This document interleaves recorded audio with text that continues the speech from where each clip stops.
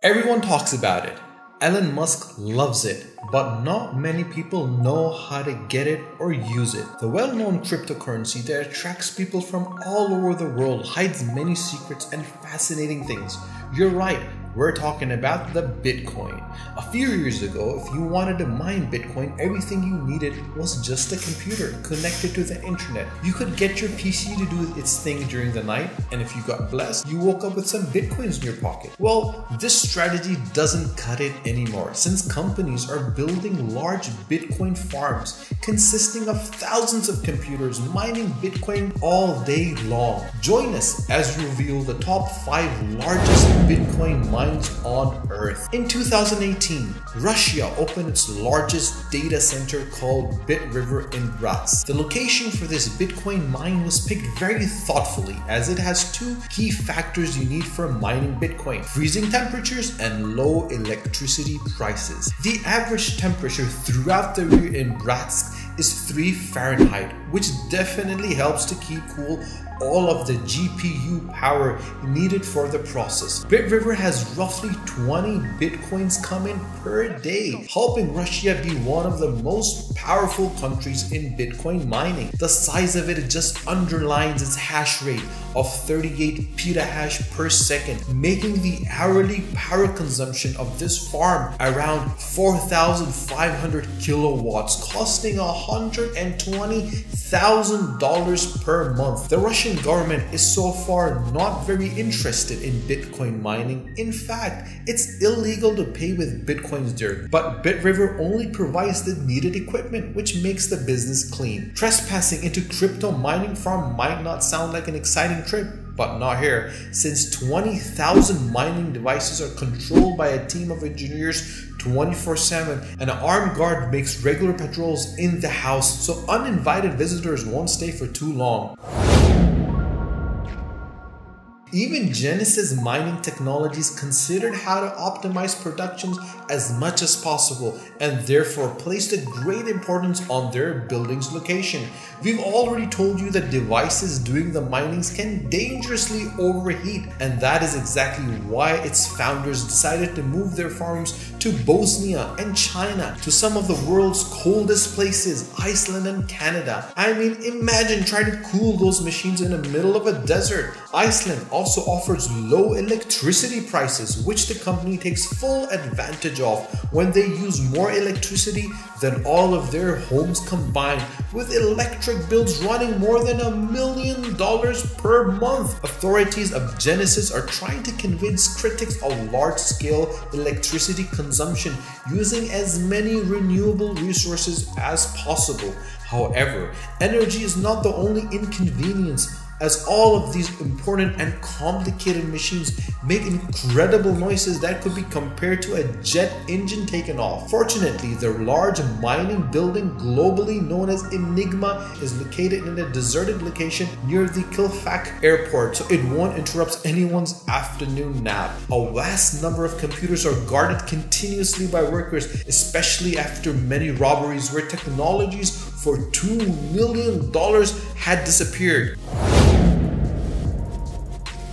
Bitfury isn't just one of the biggest Bitcoin mining firms, but also the oldest one, with its history dating back to 2011, when for 10,000 Bitcoins you could get two fresh pizzas. The company uses several softwares for Bitcoin mining, so it's impossible to calculate its hashtag. However, it is undeniable that it is one of the largest farms in the world. All the company's big operations are controlled from Amsterdam's headquarters its founder and CEO Valery Vavilov, who seems to know his way around. Bitfury has designed seven generations of its own specialized microchips under his leadership, and his net worth was estimated to be more than a billion dollars. Unlike others, this isn't located in one specific country but it has its huge facilities and centers in cities like Tokyo, London, Dubai, or Moscow. In 2020, Bitfury was one of the many companies that donated some of its GPU-based computing power for the coronavirus research. Two of some of the most powerful and successful Bitcoin mining company in the US, Mega Big Power and Gigawatt have one special thing in common. Outside the fact they're both multi-million dollar projects, they were both created by one of the most famous Bitcoin owners, Dave Carlson. The first one mentioned, Mega Big Power was a success that was particularly strong in the great boom of the Bitcoins in 2014. So why not keep going? In 2017, he decided to launch a new venture called Gigawatt, which became one of the biggest Bitcoin mining company this planet has ever seen. The plan of the company was atypical as its goal was to simplify the access to Bitcoins, this time by enabling investors to buy a stake in the company's service. Gigawatt has raised over a million dollars from undisclosed investors to build out the facilities and offered Bitcoins that had raised about $22 million in its opening year. This super mine exerted a ridiculous 30 megawatt hashtag and incorporated just over 1,700 GPUs. It has become not only one of the most powerful companies in North America, but also worldwide. Everything was all suns and rainbows until the news about bankruptcy started spreading. What definitely scared the hell out of its customers, especially after the overpraised founder silently left the company. Two months after the announcement end of this Bitcoin giant, the company was still able to continue up until access and power to the facilities in which Gigawatt operated had been banned. Unsurprisingly, China leads the world's Bitcoin mining and production of video cards for cryptocurrency mining.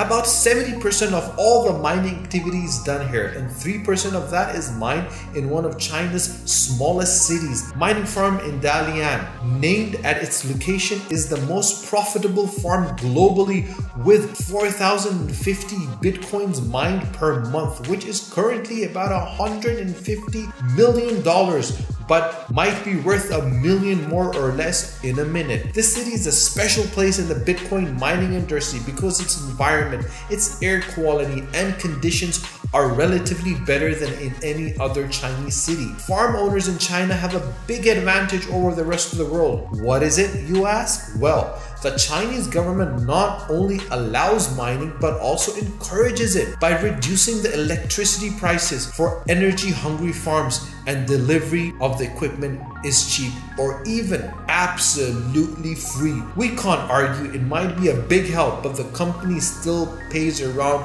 $1.1 million a month just for electricity. At its best, the company could mine 100 bitcoins a day thanks to its computing powers of 360,000 terahashes. The entrepreneurs, however, found it difficult to sustain, so the real number varies every day. Bitcoin may become a substitute for the classic money in the future, and China undoubtedly wants to be a part of it.